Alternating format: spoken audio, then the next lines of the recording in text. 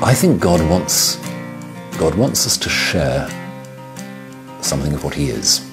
And what is He? He's love, He's intelligence, He's creativity.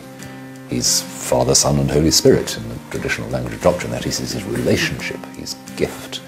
And He wants to see how that works out in, not in His own infinite life, but in our limited lives. How can we be loving, intelligent, relational like that? Because if we can grow into that, then the way we are in the world, the way we relate to the environment we're in, the society we're in, will have love and intelligence and creativity written, written in it, written through it.